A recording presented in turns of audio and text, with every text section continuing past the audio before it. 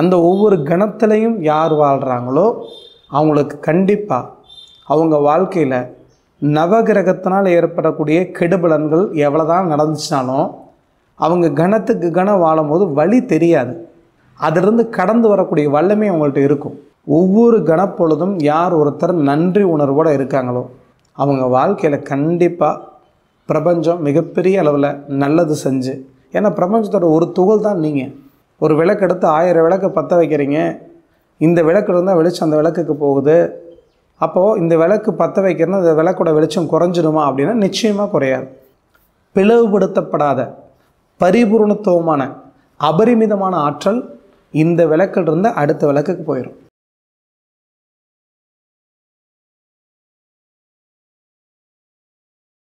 வணக்கம். நான் உங்களுடைய ஆத்ம நண்பன் நாளும் கோளும் நன்னிலை பொருந்திய இந்த நன்னாளில் எல்லோருடைய வாழ்க்கையிலும் நிம்மதி திருப்தி சந்தோஷத்துடன் கூடிய செல்வ செழிப்பான வாழ்க்கை வாழ பரிபூரணத்துவமான வாழ்த்துக்கள்.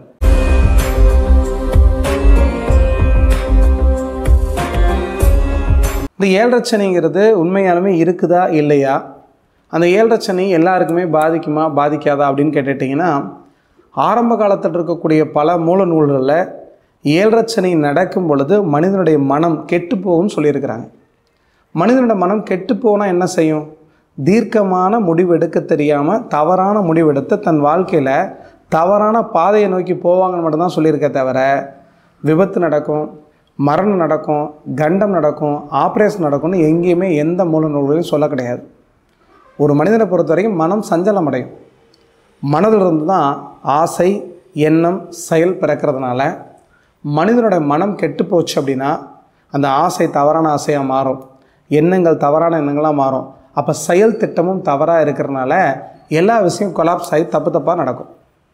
ஒரு மனிதனுடைய எண்ணங்கள் எங்கேருந்து பிறகுது? நம்ம ஒரு விஷயத்தை ஆசைப்படுறோம். ஆசைக்கு அப்புறம் என்ன வரும்? எண்ணம் வரும். தாட்டு அதுக்கப்புறம் என்ன வரும்? கற்பனை. ஒரு இமேஜ் வரும். அதுக்கப்புறம் இந்த ஆசை எண்ணம் கற்பனைக்கு அப்புறம் ஒரு அதிர்வு கிடைக்கும். ஒரு உணர்வு கிடைக்கும். இந்த ஃப்ரீக்குவென்சி தான் பிரபஞ்சத்தில் போய் யூனிவர்ஸ் மூலிமா உங்களுக்கு எல்லா விஷயம் கிடைக்கிறதுனால உங்கள் வாழ்க்கையில் மனம் சரியாக இருந்தால் திட்டமிட்ட காரியம் சிறப்பாக முடியும். யார் ஒருத்தர் தவம் தியானம் அப்படின்னு சொல்லி தன்னிலை மறந்து ஒவ்வொரு கணமும் விழிப்புணர்வோடு இருக்காங்களோ அவங்களுக்கு உண்மையாலுமே ஏழரச்சனையினால் எந்த விதமான பாதிப்பும் சனி பயிற்சினால் எந்த விதமான பாதிப்பும் இருக்காது. இந்த விழிப்புணர்வுனா என்ன அப்படின்னு சில பேர் கேட்குறாங்க நீங்கள் சின்ன வயசில் சைக்கிள் கற்றுக்கும் பொழுது குரங்கு படலை அடித்து அடித்து அடித்து அடித்து மெதுவாக ஓட்ட கற்றுருப்பீங்க உங்களுக்கு பார்த்தீங்கன்னா தெரியும். அப்போது அந்த மெதுவாக ஓட்ட கற்றுக்கும் பொழுது ரொம்ப கவனமாக கீழே விழுந்துடக்கூடாது கீழே விழுந்துடக்கூடாது இடுப்பு வளைக்கக்கூடாது ஹேண்ட்பேக் கரெக்டாக இருக்கும் அப்படின்னு நம்ம நினைப்போம் இல்லையா? இதுக்கு பேர் தான் விழிப்பு உணர்வு. அந்த கணத்தில் மட்டுமே நீங்கள் இருக்கிறீங்கன்னு அர்த்தம். உங்களுக்கு பிடிச்ச ஒரு அருமையான படத்தை பார்த்துட்டு இருக்கிறீங்க. பாகுபலின்னு ஒரு படத்தை பார்த்துட்டு இருக்கிறீங்க. அந்த படத்தை முழுமையாக பார்க்குற வரைக்கும் உங்களுக்கு கடங்காரன் ஞாபகமோ மனைவி ஞாபகமோ குழந்தைகள் ஞாபகமோ எதுவுமே இல்லை. தன்னிலை மறந்து ஐக்கியமாக இருக்கிறீங்க அப்படின்னா அது விழிப்புணர்வு.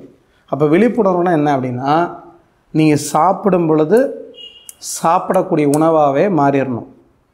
நீங்கள் தண்ணி குடிக்கும் பொழுது அந்த தண்ணியை ரசித்து ருசித்து சிப் பண்ணி மெதுவாக குடிக்கும் பொழுது அந்த தண்ணி அந்த தண்ணி உள்ள வரைக்கும் போய் இறங்குறத உங்களால் உணர முடியும். அப்போ தண்ணியாகவே மாறிடணும். உண்மையாலுமே உலகம் ரொம்ப அமைதியானது.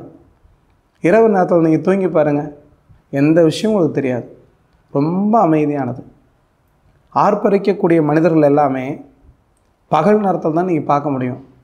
அப்போது நித்திரை கொள்ளும் பொழுது எவ்வளோ அமைதி இருக்குதோ அதே அமைதி உங்களுக்குள்ளே எப்பயுமே இருக்குது இது நிகழ்கணத்தில் ஒவ்வொரு மொமெண்ட்டும் ஒவ்வொரு கணத்துலேயும் உணர்வுபூர்வமாக நம்ம செய்யக்கூடிய செயலை கவனித்து செய்யும் பொழுது உங்களுக்கு அந்த அமைதி வந்துடும் இதுக்கு பேர் தான் விழிப்புணர்வு. நீ கார் ஓட்டுறீங்க முத முதல்ல கார் ஓட்டுறீங்க. இதுதான் கீரு. இதுதான் கிளச்சு. இதுதான் பிரேக்கு. இதுதான் எக்ஸலேட்ரு. இதெல்லாம் கவனித்து கவனித்து தானே ஓட்டியிருப்பீங்க. ஆனால் இப்போ பழக்கமாயிருச்சு. டெய்லி காரை ஓட்ட ஓட்ட ஓட்ட பழக்கமாயிருச்சு. இப்போ என்ன செய்கிறீங்க எந்த விதமான கவனமும் இல்லாமல் உங்கள் விருப்பத்துக்கு உங்களுடைய மூளையோட விருப்பத்துக்கு ஒரு பழக்கத்துக்கு உங்களை விட்டுட்டீங்க. அப்போ கார் ஓட்டக்கூடிய நபர் நீங்களா அப்படின்னா நிச்சயமாக கிடையாது. ஒரு பழக்கம். காலைல எழுந்திரிச்சு இப்படி ப்ரஷ் பண்ணுறீங்க காலைல எழுந்திரிச்சு இப்படி குளிக்கிறீங்க.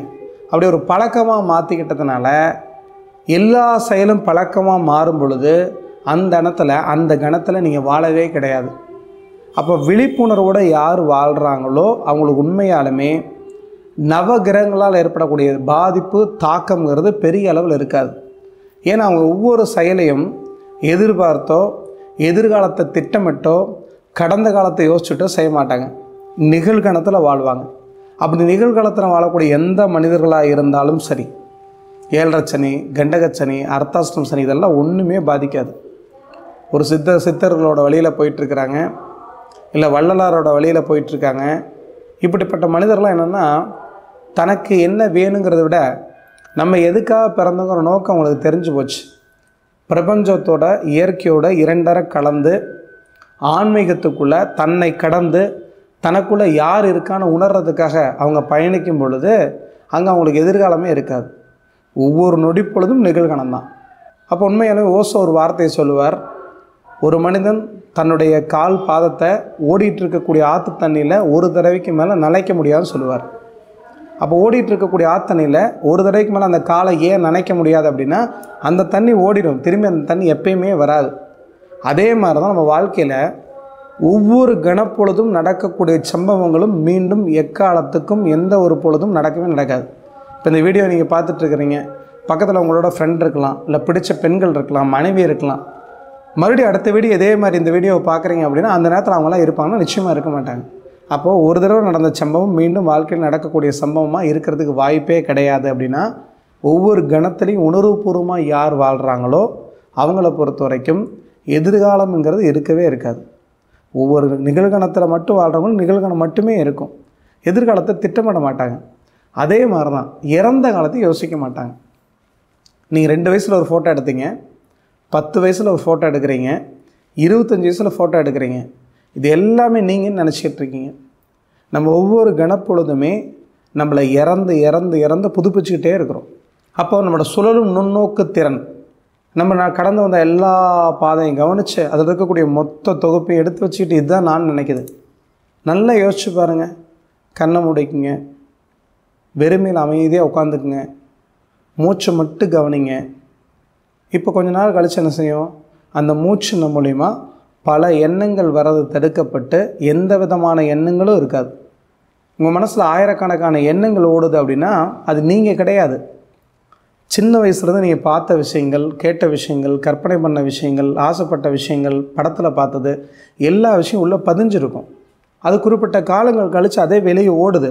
அந்த ஓடிட்டு இருக்கக்கூடிய எண்ணத்தை பிடிச்சிட்டு தான் நான் எனக்கு தற்கொலை பண்ணணும்னு தோணுது ஏதாவது பண்ணிக்கலாம்னு தோணுது. எனக்கு கஷ்டமாக இருக்குது. எனக்கு வலிக்குது. கடங்காரங்க என்னை அவமானப்படுத்திட்டாங்க. ரெண்டு நாளைக்கு முன்னாடி என்னை ஒருத்தர் திட்டாங்க உண்மையாலுமே அந்த கணத்தை மாற்ற முடியாதுன்னு உங்களுக்கு தெரிஞ்சுக்கிட்டா நீங்கள் வருத்தப்படுறதுக்கு ஒன்றுமே இல்லை. உங்களுக்கு பிடிச்சவங்க இறந்துட்டாங்க. நீங்கள் கத்துறீங்க கதறீங்க அழுகிறீங்க. என்ன செய்ய முடியும்? இதெல்லாம் ஏன் செய்கிறீங்க தெரியுமா உங்களுக்கு? உண்மையாலுமே அந்த கணத்தை மாற்றுறதுக்கு நீங்கள் முயற்சி பண்ணுறீங்க அந்த கணத்தை கண்டிப்பாக மாற்ற முடியாது. உங்களை யாரோ ஒருத்தர் திட்டாங்க வாய்க்கு வந்தபடிலாம் திட்டிட்டாங்க. நம்ம ஏன் பயங்கர கோவப்படுறோம் அப்படின்னா அந்த கணத்தை மாற்ற முயற்சி பண்ணுறோம் யாருனாலையுமே இழந்து போன நொடியை இறந்த காலத்தை மீட்டெடுக்கவே முடியாதுன்னு தெரியும் பொழுது அங்கே பாதி வழி குறைஞ்சிரும். எல்லாருமே இந்த பூமிக்கு வந்திருக்கிறோம். ஒரு அறுபது வருஷமோ இல்லை தொண்ணூறு வருஷமோ வந்துட்டு போக போகிறோம் அப்படி இருக்கும் பொழுது உலகத்தில் பல ஆன்மாக்கள் இருக்குன்னு நம்மளே தப்பாக புரிஞ்சுக்கிட்டு ஒருத்தர் ஒருத்தரை வெறுத்துக்கிட்டு சங்கடத்தோடு வாழும் பொழுது அவங்களுக்கு தான் தான் கிரகங்கள் மூலிமா மிகப்பெரிய தாக்கத்துக்கு உள்ளாவாங்க நீங்கள் ஒரு களிமண் எடுத்துக்கிறீங்க. ஒரு மண் பொம்மை ஒரு குழந்தைக்கு செஞ்சு கொடுக்குறீங்க. விநாயகர் சதுர்த்திக்கு ஒரு விநாயகர் செஞ்சு கொடுக்குறீங்க. அக்னி சட்டி ஒன்று செஞ்சு கொடுக்குறீங்க. சமைக்கக்கூடிய பாத்திரம் மண் சட்டி ஒன்று செய்கிறீங்க இதோட மூலப்பொருள் பார்த்துட்டிங்கன்னா களிமண் தான். ஆனால் அதில் இருக்கக்கூடிய உருவம் வடிவம் அத்தனையுமே வேறு. விநாயகர் சதுர்த்தி அன்றைக்கி விநாயகர் வச்சுருப்பாங்க. குழந்தைக்கு அது குழந்தை பொம்மையாக நினச்சி விளாண்டுருக்கும் மண் சட்டியை சமைக்கிறதுக்கு பயன்படுத்துவாங்க. அக்னி சட்டியை கோயில் விசேஷத்துக்கு பயன்படுத்துவாங்க. நீங்கள் படித்த ஒரு அறிஞரை கூப்பிட்டு இதெல்லாம் என்னன்னு கேட்டிங்கன்னா கூட அவர் கூட விநாயகர் அக்னி சட்டி குழந்தைக்கு பொம்மைன்னு தான் சொல்லுவாங்க தவிர களிமண்ணுன்னு சொல்ல மாட்டாங்க. ஆனால் களிமண்ணுங்கிற விஷயம் மூலப்பொருளுங்கிறது ஆழ்ந்து நுண்ணோக்கி பார்க்கும்போது தெரியும். அதே மாதிரி தான் உலகத்தில் ஆயிரக்கணக்கான ஆன்மாக்கள் லட்சக்கணக்கான ஆன்மாக்கள் இருக்கிறதுக்கு வாய்ப்பில்லை. ஒரு ஆன்மா பலவாக பிரிஞ்சிருக்கிறதுனால நம்ம கண்ணுக்கு அப்படி தெரியுது. அப்போது எல்லா உயிரையும் நேசிக்க நேசிக்க எல்லா உயிரையும் கொண்டாட கொண்டாட பிற உயிருக்கு நீங்கள் நல்லது செய்ய செய்ய உங்கள் உயிர் மிகச்சிறந்த உயிராக மிகச்சிறந்த ஆன்மாவாக கண்டிப்பாக இந்த பூமியில் வள வரும். உங்களுக்கு தேவையான அத்தனை விஷயத்தை பிரபஞ்சம் கொடுத்துரும். இந்த பிரபஞ்சத்தை பொறுத்த வரைக்கும் சரி தவறு நல்லது கெட்டது அது எதுவுமே தெரியாது. நீங்கள் பிரபஞ்சத்துக்கு என்ன கொடுக்குறீங்களோ அதை அப்படியே திருப்பி கொடுக்கும். காலத்துக்கு சரி தவறு கிடையாது நல்லது கெட்டது கிடையாது. சமுதாய சட்டத்துக்கு தான் இது நல்லது இது கெட்டது. இப்படி தான் வாழணும் இப்படி வாழ்ந்தால் தான் நல்லதுன்னு ஸ்- திட்டங்களை நம்மளே வகுத்துக்கிறோம். ஆனால் இறை சட்டத்துக்கோ நவகிரக சட்டத்துக்கோ பிரபஞ்ச சட்டத்துக்கோ இது மாதிரி விதிகள் எதுவுமே கிடையாது. ஒரு மனிதன் பிறக்கும் பொழுதே அவன் கர்மவினை அனுபவிக்கிறதுக்கு தான் பிறக்கிறான் அப்படின்னா அவன் எங்கே போகணும் எப்படி வாழணும் யாரை சந்திக்கணும் யார் கூட இருக்கணும் யார் மூலயமா வாழ்க்கையில் ஜெயிக்கணும் யாருனால தோக்கடிக்கப்படணும் அத்தனை விஷயம் தீர்மானிக்கப்பட்டது. இப்போ நாங்கள் பேசிகிட்டு இருக்கக்கூடிய விஷயங்கள் உட்பட.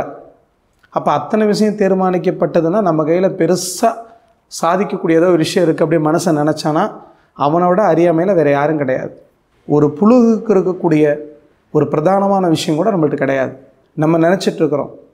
ஆன்மீகத்துக்குள்ளே போகிறோம் நிறைய தான தர்மம் செய்கிறோம் நிறைய நல்லது செய்கிறோம் கடவுள் வழிபாடு செய்கிறோம் பூஜை புனஸ்காரம் பண்ணுறோம். இதெல்லாம் செய்யும் பொழுது நம்மளோட கர்மாவிலேருந்து தப்பிக்கலாம். ஆனால் உண்மையை அப்படி தப்பிக்க முடியாது.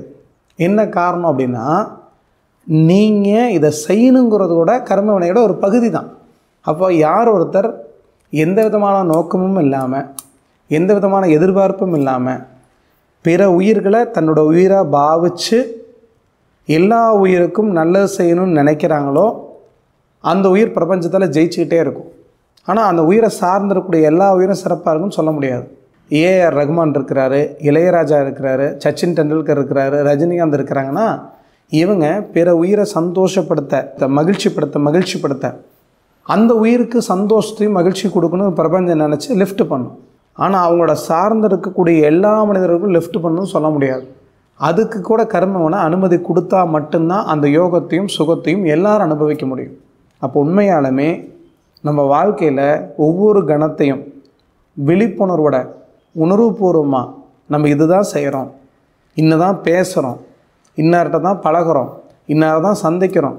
அந்த ஒவ்வொரு கணத்துலையும் யார் வாழ்கிறாங்களோ அவங்களுக்கு கண்டிப்பாக அவங்க வாழ்க்கையில் நவகிரகத்தினால் ஏற்படக்கூடிய கெடுபலன்கள் எவ்வளோ தான் நடந்துச்சுனாலும் அவங்க கணத்துக்கு கணம் வாழும்போது வழி தெரியாது.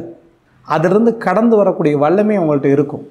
விபத்து நடக்குது கஷ்டம் வருது கடன் தொந்தரவு தாங்க முடியல அப்படின்னா அந்த கணத்தில் மட்டும் அவங்க வாழ்கிறதுனால எல்லா விஷயத்தையும் ஏற்றக்கூடிய மனோபக்குவம் வந்துடும் முடிஞ்ச வரைக்கும் உங்கள் வாழ்க்கையில் ஒவ்வொரு தடவையும் நீங்கள் பிரார்த்தனை பண்ணாலும் சரி பிரார்த்தனை பண்ணாட்டையும் சரி கடவுள் நம்பினாலும் சரி கடவுள் நம்பாட்டையும் சரி ஒவ்வொரு கணப்பொழுதும் யார் ஒருத்தர் நன்றி உணர்வோடு இருக்காங்களோ அவங்க வாழ்க்கையில் கண்டிப்பாக பிரபஞ்சம் மிகப்பெரிய அளவில் நல்லது செஞ்சு ஏன்னா பிரபஞ்சத்தோட ஒரு துகள் தான் நீங்கள் ஒரு விளக்கு எடுத்து ஆயிரம் விளக்கு பற்ற வைக்கிறீங்க.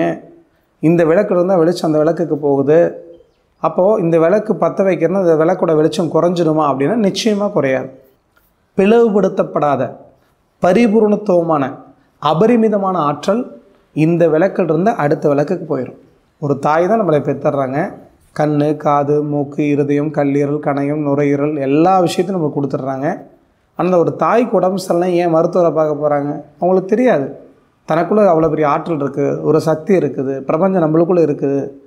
நம்மளோட மூலம் நம்மளுக்குள்ளே எல்லா விஷயத்தையும் படைக்கும் அப்படின்னு நம்மளுக்கு தெரியாது. அப்போ உண்மையாலுமே நம்ம வாழ்க்கையில் ஒவ்வொரு கணமும் ஒவ்வொரு நொடியும் உணர்வுபூர்வமாக இந்த பிரபஞ்சத்தோட ஒரு அங்கம் தான் நம்ம தெரிஞ்சுக்கிட்டு உணர்வுபூர்வமாக வாழும் பொழுது எந்த விதமான தப்போ கஷ்டமோ வலியோ வேதனை இருந்தாலும் கூட அதை ஏற்றக்கூடிய மனோபக்குவம் உங்களுக்கு வந்துடும் கண்டிப்பாக சிறப்பான வாழ்க்கை தான் நம்ம எல்லோரும் வாழ பிறந்துருக்குறோம்.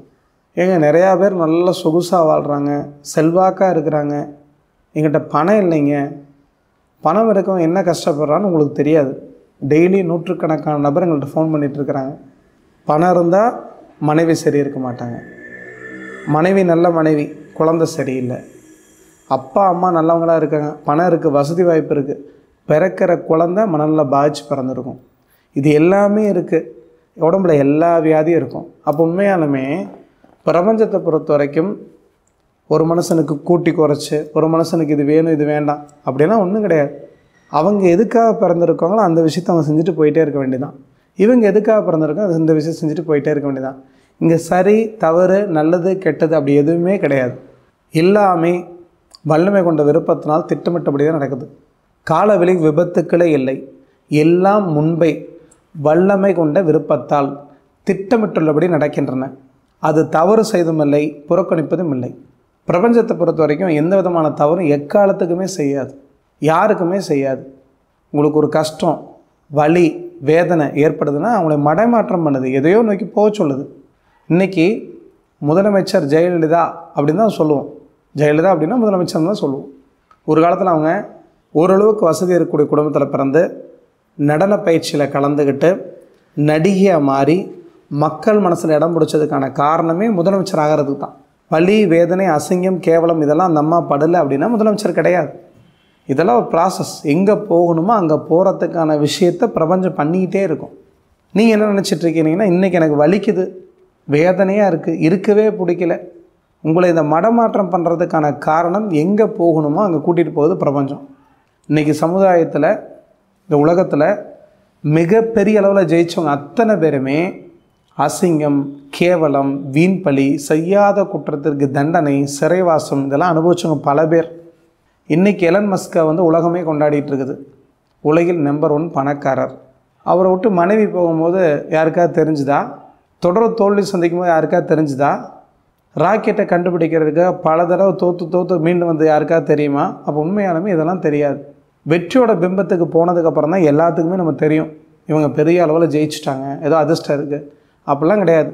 அது இஷ்டம் அப்படின்னு பேர். அதிர்ஷ்டம்னு பேர் இல்லை. அது இஷ்டம்னா அது தானாக தான் நிகழணும் அதுக்கு நீங்கள் தகுதியுடைய மனிதராக உங்களை மாற்றிக்கணும் வலியை வேதனையை கஷ்டத்தை சங்கடத்தை அவமானத்தை இதெல்லாம் கடந்து வர வர வர தான் வாழ்க்கையில் ஜெயிக்க முடியும்.